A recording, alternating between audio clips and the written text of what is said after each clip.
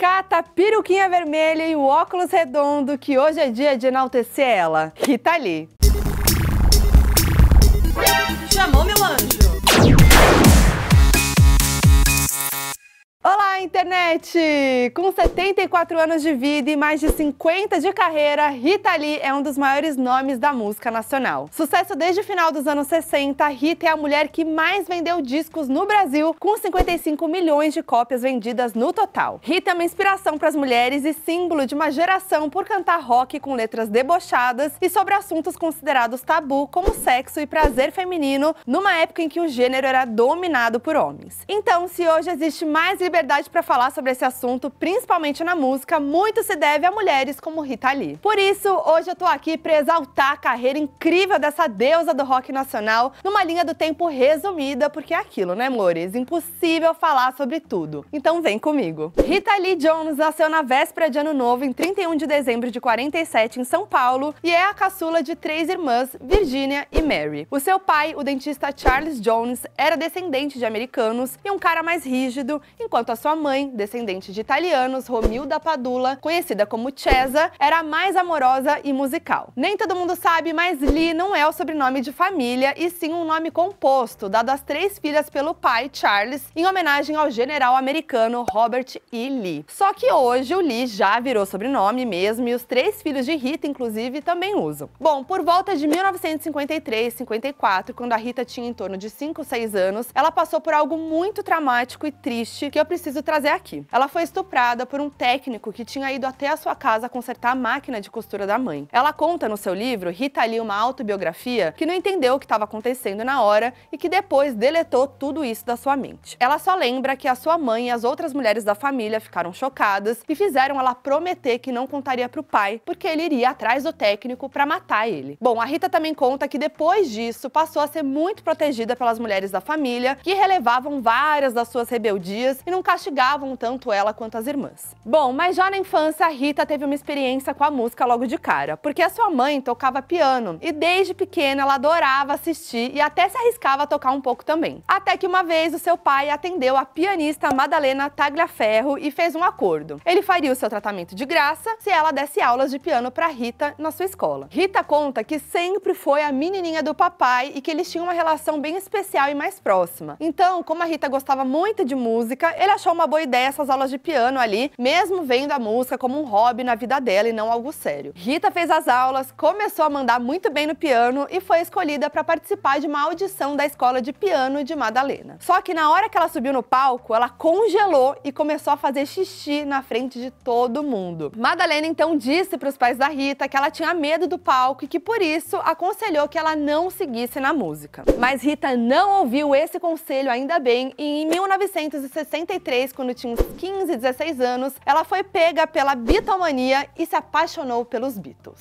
Aí não teve jeito, né? Isso aproximou ainda mais a Rita da música e nessa época ela participou do grupo Túlio Trio, como uma das backing vocals de um pianista que fazia cover de Ray Charles. O grupo durou pouco e logo em seguida a Rita juntou três amigas do colégio e criou o grupo Teenage Singers, em que tocava bateria e cantava junto com as outras meninas. As Teenage Singers começaram a tocar em alguns festivais do colégio, mas como o pai de Rita era muito rígido, ela precisava fugir de casa para participar desses shows. E aí, numa dessas escapadas, a Rita caiu da bateria, se contorcendo de dor, com uma crise de apendicite, e precisaram ligar para quem? Pro pai dela para levar ela pro hospital. Rita conta no livro que achou que o pai fosse ficar pistola, mas em vez disso ele presenteou ela com um violão, dizendo apenas que a bateria era muito barulhenta. Mas essas escapadas não eram nada perto de tudo que a Rita fazia no colégio. Ela era super rebelde, fazia xixi no sapato das amigas, fumava no banheiro, chegou a botar fogo no cenário do teatro do colégio depois de não ser escolhida para um papel. E apesar de não ir muito bem na escola, a Rita era ótima em atletismo e fazia parte do time de handball. E a sua irmã Mary era uma aluna muito boa. Então, o colégio passava aquele pano, relevava essas loucuras que ela fazia. E aí, entre 1964 e 65, as Teenage Singers chamaram a atenção dos cantores Prini Lores e Tony Campello e fizeram backing vocal para algumas músicas dos LPs deles. Lembrando que em 31 de março de 1964 aconteceu o golpe militar aqui no Brasil e os anos seguintes, até 1985, foram de ditadura. Então guarde essa informação que já volto com isso. Bom, também nessa época, entre 64 e 65, as Teenage Singers conheceram a banda dos meninos Wooden Faces, dos irmãos Cláudio, Arnaldo e Sérgio Batista. No início, os dois grupos não se gostavam, competiam para ver quem era melhor nas apresentações, mas uma hora todo mundo se aproximou e eles decidiram unir as bandas. A banda chegou a ter nove integrantes, mas como todo mundo era adolescente, já imagina o caos, né? Rolaram várias brigas, namoro entre os integrantes, fofoca, e com isso, no final de 1995, sobraram apenas seis pessoas no grupo: Rita, Arnaldo e Sérgio Batista, e mais três integrantes, dois homens e uma mulher. E veio aí os Six Sided Rockers.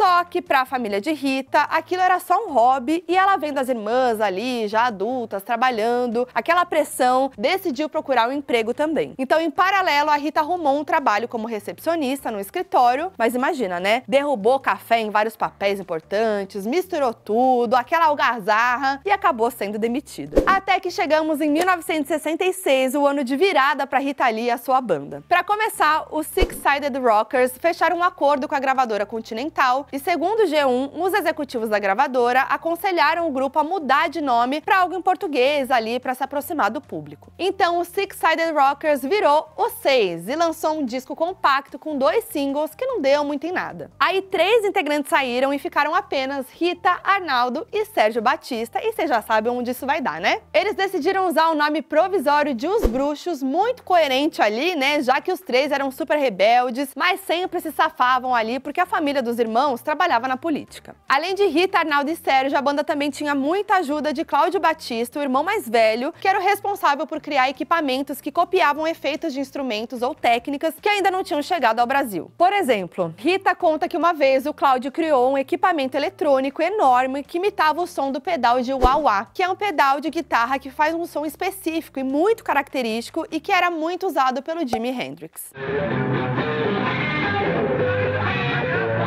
Desde o início dos Bruxos, a banda tinha uma estética muito própria, com letras debochadas, apresentações extravagantes, além de todo esse aparato criado pelo Cláudio. Em entrevista para Rony Von, a Rita contou que usava várias fantasias de fada, bruxa, hippie, como uma forma de compensar a falta de voz, porque ela não achava que cantava tão bem quanto as cantoras da época, como Elis Regina, Maísa Matarazzo e Ângela Maria. Aí os bruxos começaram a chamar atenção e foram convidados para tocar na Jovem Guarda, que era um programa da Record muito famoso na época, apresentado por eles, Roberto Carlos, Erasmo Carlos e Vanderleia. Inclusive, o programa foi o que deu origem ao movimento também chamado de Jovem Guarda, que trouxe o rockabilly para um contexto mais brasileiro. Bom, o trio chegou aí ao programa, mas segundo Rita, rolou um estresse logo de cara porque o Roberto achou a formação dos bruxos muito parecida com o que rolava no programa. Dois homens e uma mulher, que era Roberto, Erasmo e Vanderleia, que apresentavam o programa. Depois, a produção encrencou com os aparelhos criados pelo Cláudio Batista, que eram a marca registrada dos bruxos, mas que não combinavam ali com a estética do programa. Aí a Jovem Guarda disse que dava valor à estética, não ao som, e os bruxos vazaram. Em seguida, rolou outro convite, dessa vez para participar de O Pequeno Mundo de Rony Von, um programa que estava prestes a estrear e seria apresentado pelo cantor, que era um dos grandes nomes do cenário musical do momento. Quando encontraram Rony Von na casa dele, ele disse que a banda teria total liberdade criativa no programa, mas que não curtia muito o nome Os Bruxos. Então, Rony batizou a banda de Os Mutantes, inspirado no livro de ficção científica O Império dos Mutantes, que ele estava lendo na época. Os Mutantes então fizeram a sua primeira apresentação com o um novo nome em 15 de outubro de 1966, na estreia de O Pequeno Mundo de Rony Von, e se tornaram uma das atrações musicais recorrentes do programa. Inclusive, essa primeira apresentação dos Mutantes é tão importante para a música brasileira que, segundo a Rolling Stone, o dia 15 de outubro de 1966 é considerado o início do rock psicodélico no Brasil. Inclusive, para saber o que é psicodelia na música e tudo mais, vai lá ver o meu vídeo de evolução do rock. Bom, nesse meio tempo, Rita e Arnaldo estavam tendo um lance ali, tentaram até namorar, mas o relacionamento não rolou e eles decidiram apenas ser amigos mesmo. E aí, enquanto continuava com a banda, Rita Lee também começou a estudar comunicação na USP, mas vivia matando aula para ir em ensaios e apresentações e não chegou a se formar. E agora chegamos a outro momento que revolucionou a história da música brasileira. Tudo começou quando os Mutantes foram chamados para fazer backing vocal na música Bom Dia, da Nana Caymmi, no terceiro Festival da Música Popular Brasileira, em 1967. A música foi composta por Gilberto Gil, namorado da Nana na época. Aí, durante o ensaio, o Gil entrou no estúdio e convidou os Mutantes para se apresentarem junto com ele no festival, cantando a música Domingo no Parque. A Rita disse que achou estranho ali, porque o festival era de MPB, eles cantavam rock, mas Gil disse que eles eram brasileiros, então faziam sim música brasileira e ficou decidido que eles fariam uma apresentação juntos. Quem olha a música brasileira hoje, talvez não entenda muito bem essa separação aí. Mas nos anos 60 existia uma divisão muito clara entre MPB e rock, e os dois lados eram meio tretados. Só para ter uma noção, em julho de 67, rolou a marcha contra a guitarra elétrica comandada por Elis Regina, que defendia a música brasileira contra a invasão da música internacional. Na época, o rock que tinha a guitarra como principal símbolo. Bom, então foi nesse contexto que no dia 21 de outubro de 67, Gilberto Gil e os Mutantes subiram no palco com uma orquestra para cantar Domingo no Parque.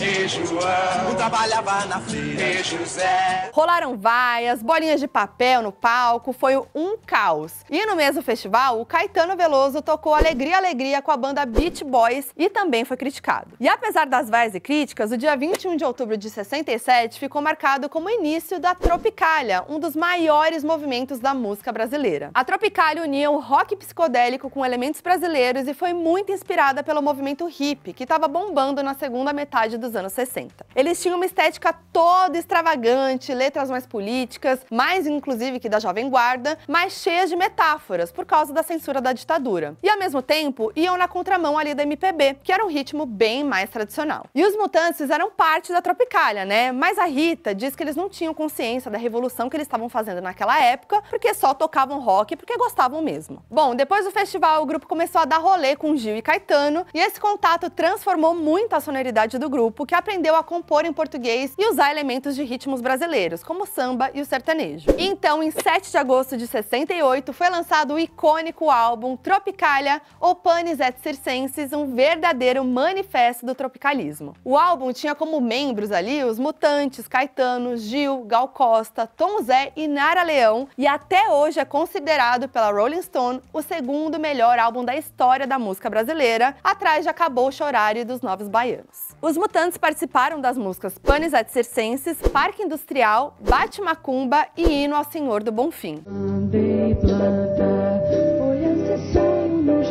E mais ou menos na mesma época, eles lançaram o seu primeiro álbum de estúdio que levava o nome do grupo e trazia elementos brasileiros. Inclusive é considerado um clássico cult até hoje. Aliás, toda a discografia do grupo na fase com a Rita Lee é icônica, tanto que a banda já foi elogiada até por Sean Lennon, filho do John Lennon, e por Kurt Cobain. Bom, em 12 de setembro de 1968 rolou outro marco importante na carreira dos Mutantes. Eles tocaram É Proibido Proibir com Caetano no Festival Internacional da Canção. Inclusive, eles foram vaiados e os Mutantes chegaram a tocar de costas pro palco. E aí, em determinado momento, Caetano parou tudo e deu um textão no público, dizendo a famosa frase: Mas é isso que é a juventude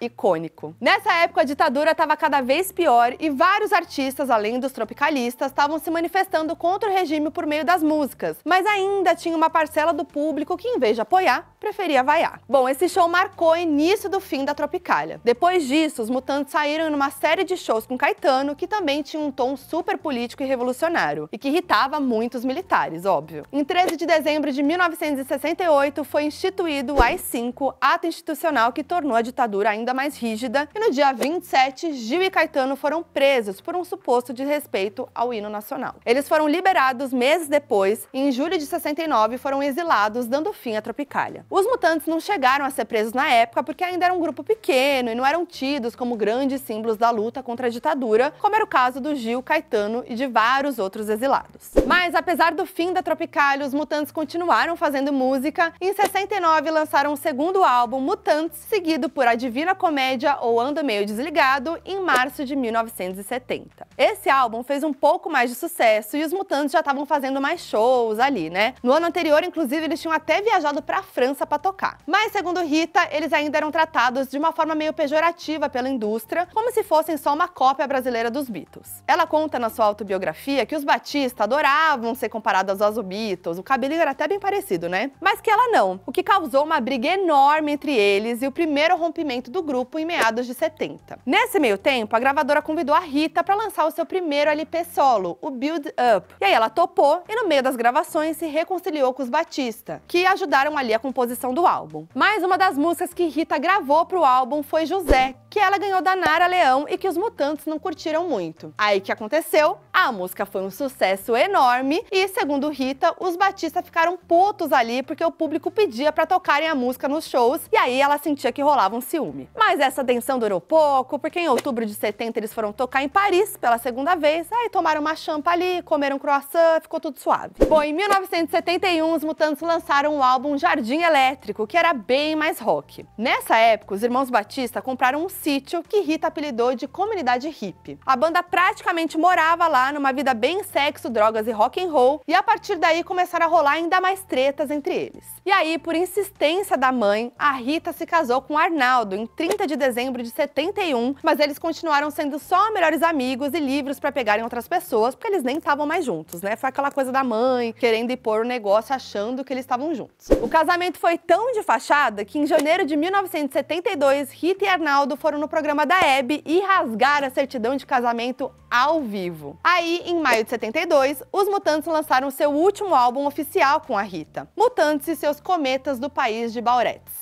E alguns meses depois, a Rita lançou seu segundo álbum solo, Hoje é o Primeiro Dia do Resto da Sua Vida. Esse álbum foi lançado por obrigação de contrato, e apesar de ser oficialmente ali um álbum solo, é considerado pelos Mutantes o último álbum daquela fase da banda, porque toda a produção foi feita pelos Mutantes a partir de músicas que não entraram no país dos Bauretes. A última apresentação dos Mutantes com Rita aconteceu na sétima e última edição do Festival Internacional da Canção, em setembro de 72. Pouco tempo depois, rolou a saída da Rita do grupo, que foi uma mega polêmica, porque a Rita sempre disse que foi expulsa do grupo pelo Arnaldo e pelos irmãos Batista, mas eles diziam que era mentira e que foi ela quem pediu para sair. A polêmica só se resolveu em 2007, quando Arnaldo deu uma entrevista pro Comando Rock e afirmou que mandou a Rita embora dos Mutantes e que ela era uma banana, nas palavras dele. Segundo a Rita, um dia ela chegou no ensaio e o Arnaldo disse que eles tinham resolvido fazer rock progressivo, um gênero que rompe com o lado mais comercial do rock e traz músicas mais longas e com mais qualidade técnica, e que Rita não tinha calibre como instrumentista, então estava fora. Ela saiu sem falar nada, mas ficou pistola, falou que chorou e xingou muito no caminho de volta para casa. Então, em 1973, Rita decidiu dar um tempo da música e viajar para Londres, e foi por lá que rolou a grande transformação de Rita Lee para aquela figura clássica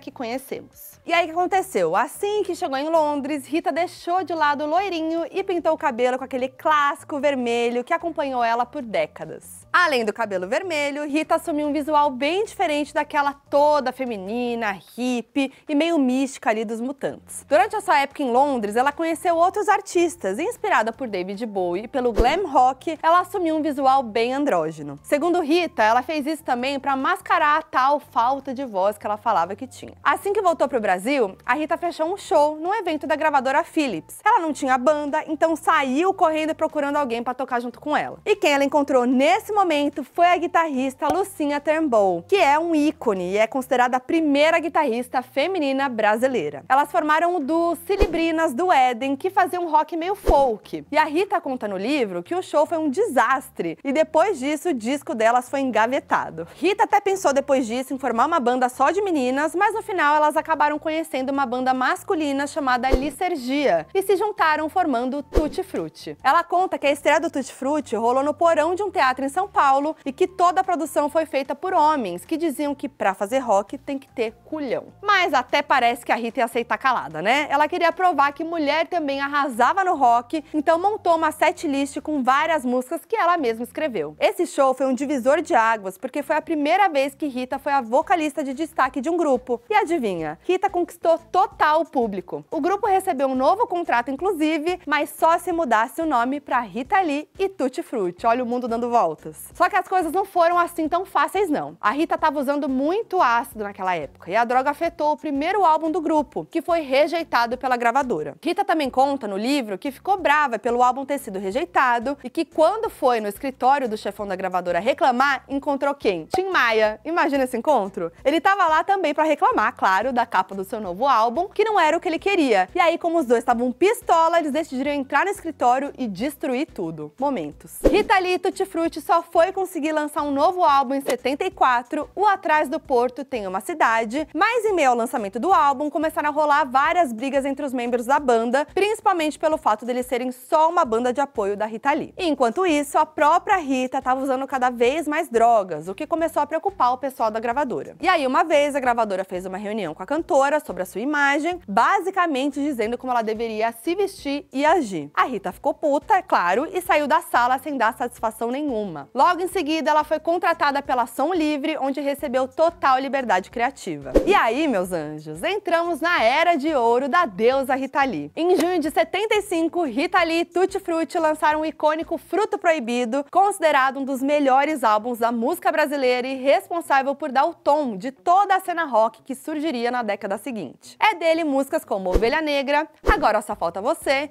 e esse tal de rock and roll. As músicas marcaram a geração e furaram total a bolha, ganhando clipes no Fantástico e projetando a imagem de Rita para o Brasil todo, transformando ela na rainha do rock brasileiro. E o Fruto Proibido também foi um marco na música feminina, porque a partir daqui, as músicas da Rita se tornaram cada vez mais feministas. E não dá para negar a importância dela para a luta das mulheres no Brasil, principalmente na música. As letras de Fruto Proibido não eram tão sexuais quanto as que vinham depois, mas já falavam sobre mulheres, como em Luz del Fuego, e sobre liberdade, como em Agora Só Falta Você, que já começa com a frase: Belo dia resolvi mudar e fazer tudo que eu queria fazer. Agora imagina uma mulher nos anos 70 falando isso. Apesar do sucesso comercial, a Rita também passou por alguns momentos difíceis em 75. Para começar, nesse ano a sua mãe descobriu um câncer no útero. Além disso, a turnê de Fruto Proibido chegou ao fim antes do previsto, depois de Rita ter uma bad trip pesada com drogas e ameaçar pular da janela do hotel, bem tenso. Mas também rolou um outro momento marcante na vida de Rita. Ela conheceu o grande amor da sua vida, o músico Roberto de Carvalho, que é o seu marido até hoje. E sabe quem foi o cupido? O Ney Mato Grosso. Ele pediu pra Rita uma música pro seu próximo disco. Aí ela mandou Bandido Coração. E aí, quando ela ouviu a versão final dele, ficou alucinada com o som das guitarras e quem tocava era o Roberto. Resultado: ela e Roberto se conheceram, logo começaram a namorar e viraram uma dupla musical. E aí, juntos, compuseram vários álbuns e músicas de sucesso. São mais de 40 anos de parceria. Depois de alguns meses de namoro, a Rita engravidou de Roberto lá pela metade de 76. Rita tinha acabado de lançar o álbum Entradas e Bandeiras e o primeiro show da turnê aconteceu em São Paulo quando ela estava grávida de três meses. Depois desse show, Rita foi abordada por uma senhora ali que perguntou se ela lembrava de um show que os Mutantes tinham feito anos antes, em que o menino tinha morrido. Vai vendo. A senhora disse que o policial que teria atirado no filho afirmou que ele estava causando confusão e que foi morto do lado de fora da casa de shows, onde não tinham testemunhas. A Rita disse que não viu quem atirou contra ele, mas que tinha sido dentro da casa de shows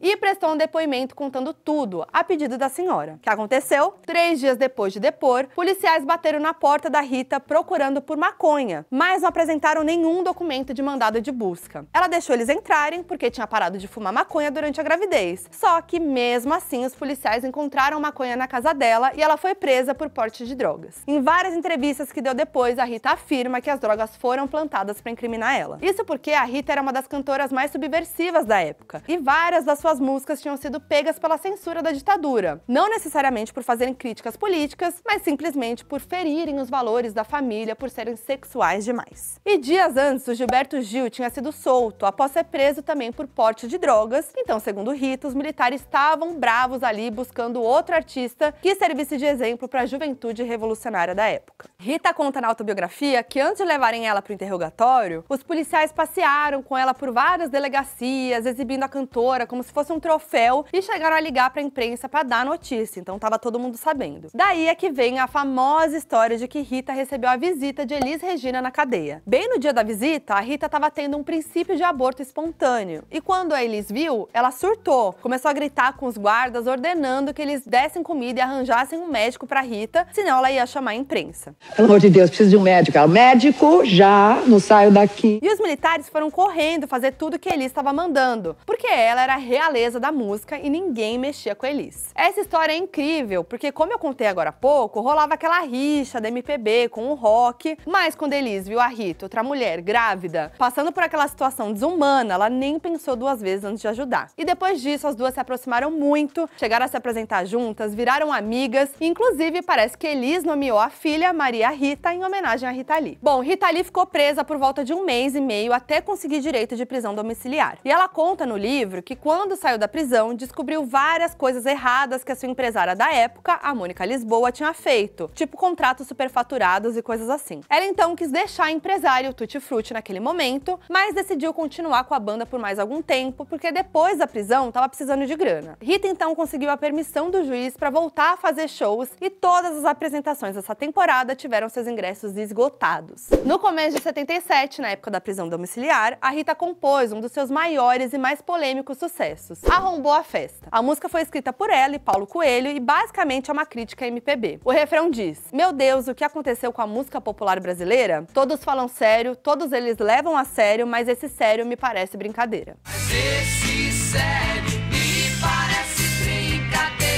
A música foi um sucesso nas rádios e o disco com o single vendeu 250 mil cópias só no lançamento, o que foi um recorde na época. Mas é claro que a galera que curtia MPB ficou pistola e rolaram até pichações de fora Rita Lee nas ruas do Brasil. Em 21 de março de 77, Rita Lee deu à luz seu primeiro filho, Beto Lee, e depois dele ela teve mais dois, João Lee em 79 e Antônio Lee em 81, todos filhos dela com Roberto de Carvalho. Aí em outubro de 76, Rita Lee e Gilberto Gil resolveram unir as suas bandas e fazer a turnê de Refestança, que virou um álbum ao vivo na época. Essa turnê foi icônica porque rolou pouco mais de um ano depois que os dois tinham sido presos por porte de drogas. E a setlist tinha um cover de É Proibido Fumar, do Roberto Carlos, que no contexto de Gil e Rita ganhou um significado todo diferente. Em 78, Rita lançou seu último trabalho com o Tutti Frutti, o Babilônia, que é bem mais dançante que os álbuns anteriores dela e já tem o clássico Jardins da Babilônia. Suspenderam E um detalhe muito legal é que na turnê de Babilônia, a Rita fez vários shows de matinê voltados para crianças, algo que nenhum artista de rock tinha feito até então. E a Rita também censurou várias de suas músicas e montou uma setlist toda pensada para o público infantil. Em 79, Rita Lee saiu em carreira solo, mas ainda em parceria de Roberto de Carvalho. Os dois compunham juntos, chegaram até a lançar álbuns com o nome dos dois e saíram em turnê juntos também. Mas o grande rosto dessa fase foi mesmo a Rita. O primeiro álbum solo depois do Tutti levou só o nome de Rita Lee, mas é conhecido pelo público por Mania de Você. Essa música se tornou outro marco na carreira dela. E lembra que eu disse que desde o Fruto Proibido, a Rita vinha sendo um ícone feminista por falar sobre liberdade e temas femininos? Muito que bem. A partir de Mania de Você, Rita começou a fazer músicas cada vez mais sexuais, falando sobre sexo sob uma perspectiva feminina e exaltando o prazer feminino. Em Mania de Você, por exemplo, ela canta: Gente faz amor por telepatia. Também a partir do Mania de Você, Rita Lee se jogou muito mais no pop, influenciada pela música disco, que estava bombando na época. Mas é aquilo, né? Ela se afastou um pouco do rock, mas sua atitude continuava total rock and roll. Em 1980 veio outro marco, mais um álbum que levava o nome de Rita Lee, mas que ficou conhecido em todo o território nacional como Lança Perfume. A música é até hoje uma das mais famosas de Rita e também tem uma letra super sexy em que ela canta. E depois diz: Me vira de ponta cabeça, me faz de gato e sapato, me deixa de quatro no ato, me enche de amor. E ela falou tudo isso e muito mais nos anos 80, uma época super conservadora e em plena ditadura militar. O álbum Lança Perfume foi um sucesso absurdo, recebeu disco de ouro e de platina aqui no Brasil, ficou em primeiro lugar na parada de hits da França e também entrou nas paradas de vários outros países. O sucesso foi tanto que em 1988 o Daily Mirror noticiou que Rita Lee era a cantora preferida do príncipe Charles, porque ele amava Lança Perfume, o auge. Por causa do sucesso nos anos 80, Rita fez praticamente um álbum por ano. Teve Saúde em 81, Rita Lee e Roberto de Carvalho em 82, Bombom em 83, Rita e Roberto em 85, Flerte Fatal em 87, Zona Zen em 88 e outro Rita Lee e Roberto de Carvalho em 90. Os álbuns faziam sempre muito sucesso, Rita tinha uma fanbase muito poderosa e quase não parava em casa. Tava sempre viajando com turnês pelo Brasil e também no exterior. E aí, para manter o ritmo, a Rita começou começou a abusar dos remédios tarja preta, também do álcool, que de todas as substâncias foi a que mais causou estrago na vida dela. Só que não foi só a rotina tensa que causou o vício da Rita Lee em álcool, mas sim vários outros motivos. Para começar, nos anos 80, ela perdeu a mãe, o pai e a irmã. Mary, a irmã mais velha de Rita, faleceu no início dos anos 80 depois de sofrer um AVC por conta do álcool. E a mãe e o pai da cantora faleceram alguns anos depois. Foi a partir daí, no início dos anos 80, que ela começou a abusar bastante de bebida e teve que ser internada na reabilitação várias vezes. Em 85, Rita Lee se apresentou na primeira edição do Rock in Rio e em 86, Rita Lee também virou escritora. Nesse ano, ela lançou o primeiro livro da série infantil Dr. Alex, que inclusive foi relançado em 2019 com novas ilustrações. O livro conta a história de um cientista que luta pelos direitos dos animais e que se transformou em rato para fugir de pessoas que querem destruir a natureza. Na época, muita gente achou estranho uma roqueira lançando livro infantil, ainda mais porque nos anos 80 o ambientalismo e os direitos dos animais não eram temas tão discutidos como hoje em dia. Só que as crianças amaram e os livros foram um sucesso. Inclusive, Rita não come carne há bastante tempo e é uma grande defensora do meio ambiente e dos direitos dos animais, e sempre afirma que essa é a única bandeira que ela defende. Bom, em 91 a parceria entre Rita e Roberto começou a dar uma desgastada e ela decidiu fazer alguns projetos sozinha. E o mais marcante foi o álbum acústico Bossa and Roll. Tudo começou quando Rita foi convidada para participar de um show acústico no formato voz e violão em homenagem a Elis Regina, que tinha falecido em 82, e era algo muito novo para Rita. E aí depois desse show, ela lançou em maio de 91 a turnê Bossa Roll, que trazia releituras de músicas do rock, suas e de outros artistas, no ritmo bossa nova e acústica. Os shows foram um sucesso no Brasil, ganhou turnê no exterior e as gravações deram origem ao álbum Bossa Roll, lançado no mesmo ano. Mas a partir daí, as coisas foram ficando cada vez mais difíceis para Rita, que começou a abusar cada vez mais do cigarro e da bebida. Isso causou problemas entre ela e Roberto, e no início dos anos 90 eles decidiram se separar. Rita foi morar em outra casa e o Beto, seu filho mais velho, ia lá para cuidar dela. Em 1995, Rita foi internada às pressas para tratar o vício, depois de ser convidada para tocar no Hollywood Rock, festival que receberia os Rolling Stones pela primeira vez no Brasil. O show rolou no Maracanã em fevereiro de 95 e foi um bafo. Além de trazer Roberto para tocar ao seu lado, durante a performance de todas as mulheres do mundo, Rita se vestiu de Nossa Senhora Aparecida e no final ainda mandou uma Ave Maria. A igreja ficou chocada e Rita foi excomungada. Só que, segundo ela disse no livro, a fantasia ali foi só uma forma de homenagear Nossa Senhora, a melhor representante de todas as mulheres brasileiras, segundo ela. Até que no começo de outubro de 96, Rita passou por um trauma muito tenso por causa da bebida, quando caiu da varanda de seu sítio, de uma altura de 15 metros. Rita só foi encontrada pelo caseiro na manhã seguinte e foi levada às pressas para o hospital. Ela passou muitas horas fazendo uma cirurgia para reconstruir o seu maxilar com pinos de titânio, porque ela quebrou totalmente o maxilar com a queda.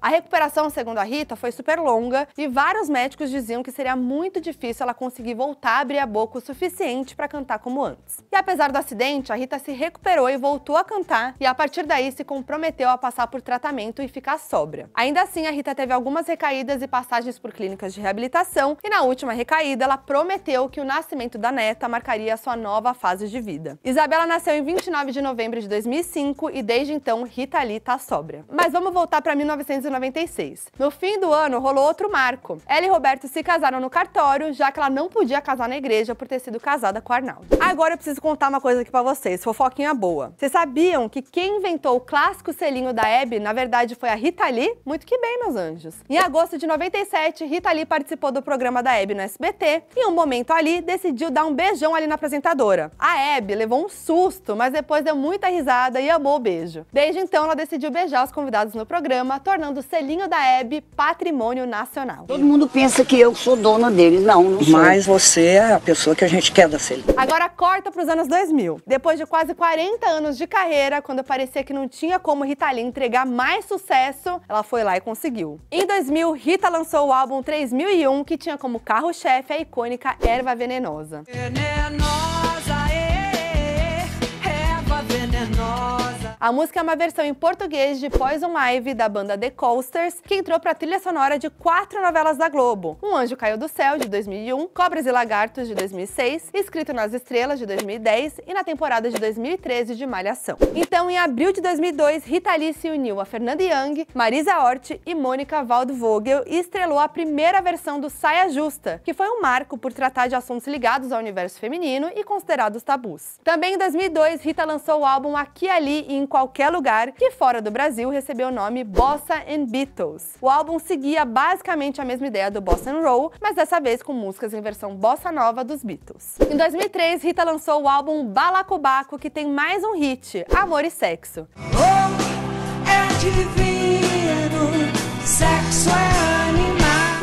então, Rita saiu em algumas turnês pelo Brasil, mas em 2010 rolou um outro fato marcante que a fez ser conhecida também pela nova geração. Rita Lee entrou pro Twitter com o nome Lita Ri e virou um ícone na rede social. Ela postava seus pensamentos sem filtro nenhum, comentava novela, xingava muito, por exemplo, você nem imagina a imensidão do quanto estou pouco me fudendo pro que dizem. A vida é curta e eu grossa. Eu não sou louca, estou emocionalmente desequilibrada. Viver é perigoso. Icônica demais. E hoje em dia o Twitter pessoal da Rita é trancado, mas os seus tweets do começo da década de 2010 são muito icônicos e às vezes até voltam a viralizar. Sem contar que hoje as suas frases icônicas em entrevistas e tudo mais viraram trend no TikTok. Mas vamos seguir para a linha do tempo, porque no dia 21 de janeiro de 2012, durante um show no Circo Voador no Rio de Janeiro, Rita Lee anunciou a aposentadoria dos palcos. O último show oficial rolou em Aracaju no dia 28 de fevereiro e foi um bafo. Em um momento ali do show, a Rita percebeu que alguns policiais estavam abordando pessoas da plateia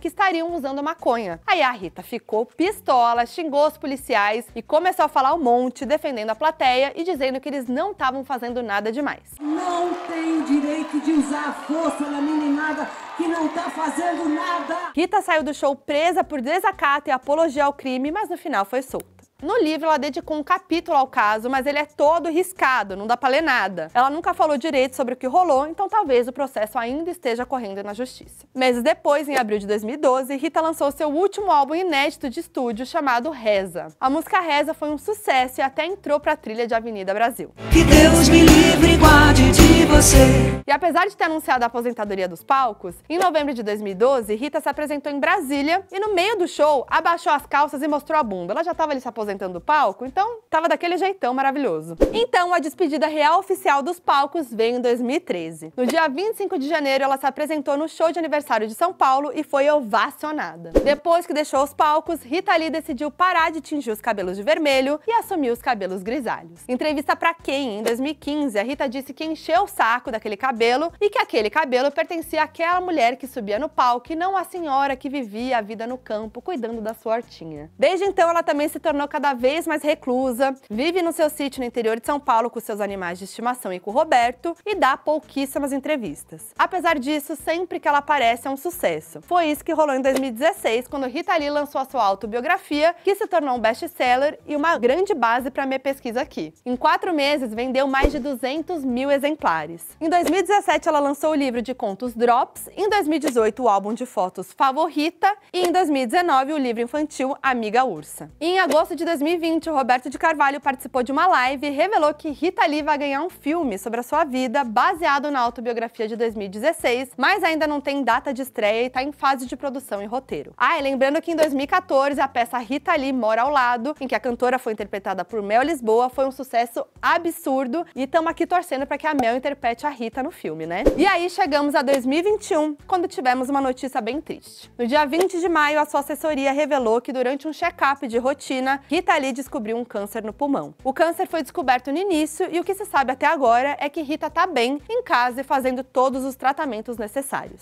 Apesar de Rita não ter falado sobre o câncer até agora, Roberto postou uma mensagem para ela em 31 de dezembro de 2021, data do seu aniversário de 74 anos. Ele escreveu que o ano de 2021 foi de muitas provações, mas que foi incrível observar todas as demonstrações de coragem, força, de vontade e resistência da cantora. Ele também disse que eles estarão juntos para sempre e que em breve o tormento dará lugar a um tempo de paz, harmonia e saúde. Mas tá achando que ela ficou sem produzir nada em 2021? Até parece, né, meus anjos? No começo do ano, Rita participou da música Linda, Amarelo, Azul e Branco, da Ana Vitória, recitando um texto de Simone de Beauvoir, escritora e intelectual francesa, considerada uma das maiores teóricas do feminismo moderno. A música foi um dos maiores sucessos do álbum Cor, viralizou no TikTok e consagrou Rita como uma cantora que apareceu nas paradas de sucesso em várias décadas diferentes. Ao meu passado, eu devo o meu saber E não foi só isso. No meio do ano, João Lee, filho do meio de Rita, que é DJ, lançou a trilogia de álbuns Classic Remix, que trazem os maiores sucessos de Rita Lee e Roberto de Carvalho, remixados por grandes DJs como Tropiquilas, Gui Borato e Vintage Culture. No release enviado para a imprensa e escrito pela própria Rita, ela disse que ouvir as canções remixadas foi como mergulhar numa dimensão paralela e que apesar de nunca ouvir suas músicas antigas em casa, os remixes não paravam de tocar na sua vitrola. Depois, Rita e Roberto se uniram com o DJ e produtor Gui Borato novamente para a música Change, que conta com a letra em inglês e francês e é toda eletrônica. Sem contar que em 2021 ela ganhou uma exposição enorme e incrível no Museu da Imagem e do Som em São Paulo, que foi um grande sucesso. Em entrevista recente para o Fantástico, Rita também contou que continua compondo músicas com o Roberto e que, se a preguiça permitir, talvez eles lancem um novo álbum de inéditas. Será que vem aí Rita Lee eletrônica? Ela também já falou que hoje em dia a única droga que usa é mesmo cigarro e que tá curtindo envelhecer e achando muito louco ser careta. Mas a verdade, meus anjos, é que mesmo careta, Rita Lee ainda é mais rock and roll do que todos nós, não é mesmo? Que ela se recupere logo, lance novos trabalhos e continue sendo essa figura incrível e inspiradora em tudo que faz. Vida longa, rainha do rock, Rita Lee. E agora me diz aí o que você achou dessa linha do tempo resumida da Rita. Eu amei fazer e pesquisar ainda mais a fundo a carreira e a história dessa mulher incrível, esse ícone. Deixe seu comentário, deixe seu like. Se você ainda não é inscrito no canal, se inscreve aí para vídeos sobre cultura pop toda semana. E é nóis, até o próximo vídeo.